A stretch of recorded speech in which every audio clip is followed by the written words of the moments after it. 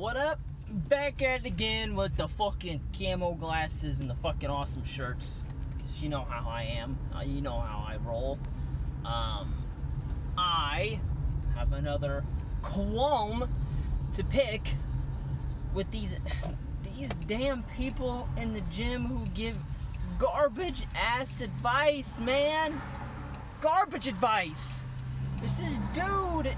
This is professional trainer at the gym I go to who said when you start a leg workout, you need to start with leg press.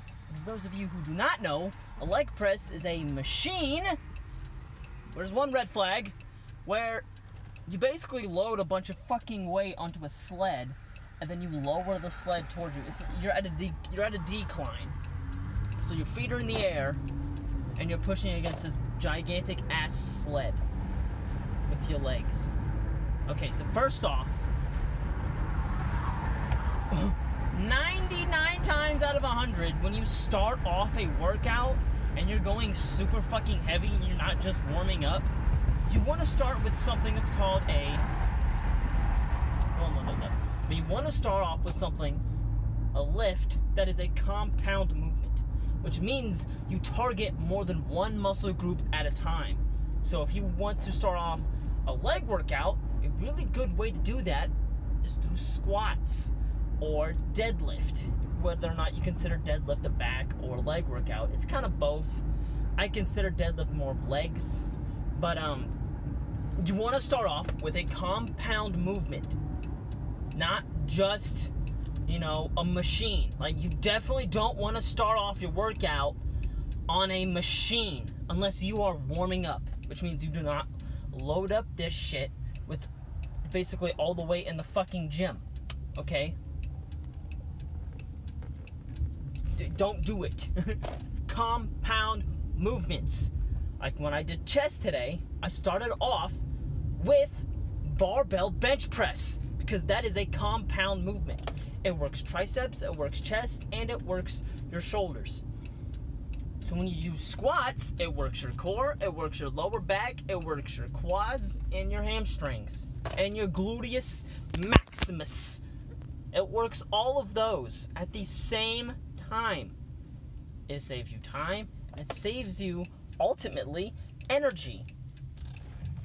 Because now you're not wasting time and wasting movements on workouts that you can do at the end when your legs are already fatigued and you can hammer them out on a machine.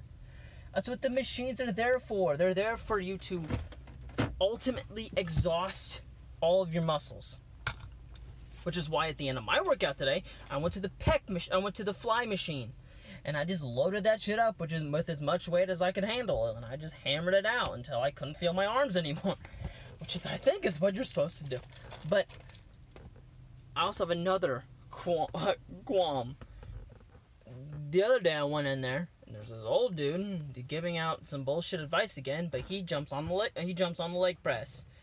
I was like, all right, well you've been here for a minute. You were here before I did, so I don't know what you did. The dude gets gets on the leg press machine, takes basically every single plate in the entire gym and loads it on this bitch. I'm thinking, the fuck is this guy trying to do? Destroy his knees? Like, what the fuck are you doing? And then he unracks it. The weight probably moves a maximum of three inches before he does like four reps and then re racks it. What are you doing? If you've had a knee injury in the past, you're going to want to include as much movement as possible. You're going to want to damage your muscles around your bad joints as possible. So then you're so then those when those muscles heal, they help strengthen your joints.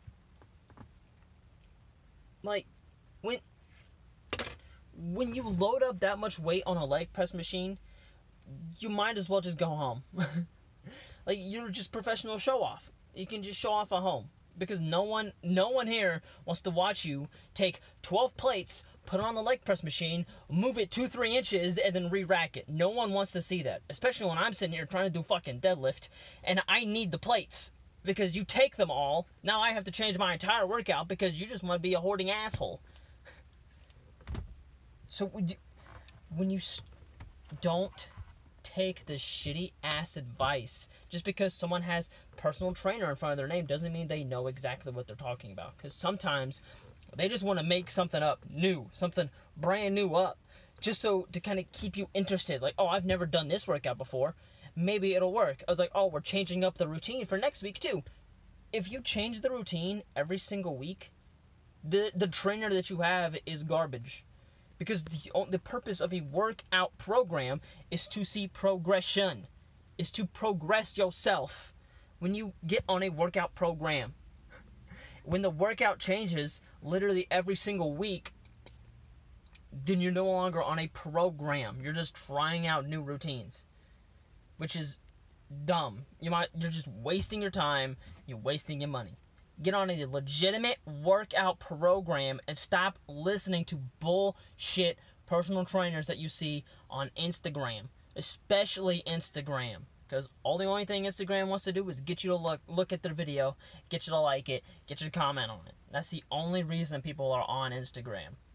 If you want real workout advice, go to YouTube and look up and and find a natural lifter on YouTube. because there are, are so many uh, non-natural lifters on all social media platform, platforms. So you have to be very careful of who you find and who you trust. Don't load up the leg press with all the weight in the gym. Like if if you're going to load up that much weight and move it only a few inches go home. Go home. Seriously leave the gym. Put all your weights up leave the gym and don't come back until you've learned your fucking lesson. because the only like one reason to go to the gym is to fatigue your muscles, is muscle breakdown. You want to destroy your muscles so then they can grow stronger. but if you only move the weight a few inches, you're literally just inflating your ego, saying yeah, you can lift that much weight, even though you really can't. Okay? Just don't just don't do it. Like when I did legs, I did squats first, and then I did calves, and then I'd hit hamstrings, and then I finally hit the leg press. I did squats, calf raises, Romanian deadlift, and then after all of that, after I was basically basically completely fatigued, then I hit leg press. That's how you're supposed to do it. Compound movements at the at the start of your workout. You want to overload your muscles with as much weight as they can handle, and then you jump on machines to really hit them and hit them hard, and just fatigue the hell out of them. You want to overload them, and then you want to fatigue them. That's how you're going to get muscle breakdown. That's how you're going to get stronger. So don't just don't don't take bullshit advice. And make sure you're using full range of motion okay, I'm I'm done. I I'm I gotta go to the store get some more food because I ate it all. So uh, yeah, if you want more lifting advice, let me know. If you have any questions at all, let me know. If you want to get on one of my routines, let me know. I I can send you all my shit. Anyway, I'm gonna go. Uh, bye.